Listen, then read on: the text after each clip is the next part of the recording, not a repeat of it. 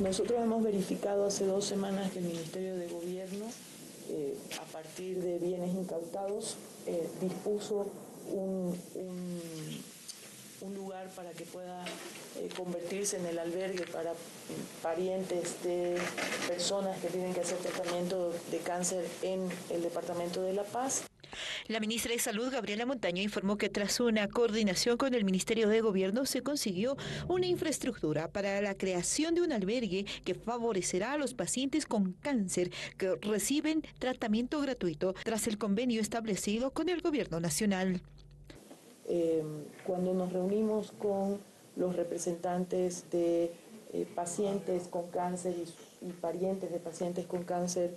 eh, les informamos esto y se acordó inicialmente con ellos eh, hacer una visita y una inspección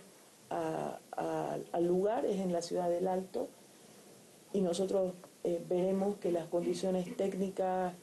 físicas del, lugar sean eh, adecuadas para un albergue. Em, se ha avanzado en ese sentido y nosotros esperamos que seguramente en las próximas semanas podamos concretamente ya tener certeza de que hay un visto bueno de, los pacientes con cáncer a este lugar que se había dispuesto inicialmente para hacer el albergue en la ciudad de La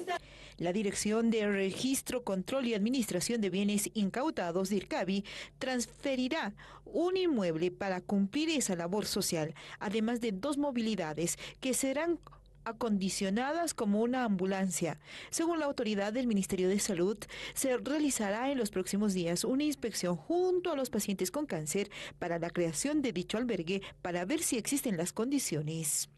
Un, proceso acordado de ambas partes, tanto de, los parientes y pacientes con cáncer como de parte del Ministerio de Salud. Em, y esperamos también que eh, la voluntad que ha mostrado el gobierno nacional en este sentido y el compromiso que el presidente Evo Morales hizo en su momento puedan hacerse concretos. Recordemos que en la gestión 2018 el Estado boliviano realizó un convenio con los pacientes con cáncer para que estos puedan ser atendidos de forma gratuita en sus terapias en clínicas privadas, tanto en la ciudad de La Paz como en el Alto. Este convenio favoreció a pacientes además del interior del país. Ahora se espera la construcción de un albergue.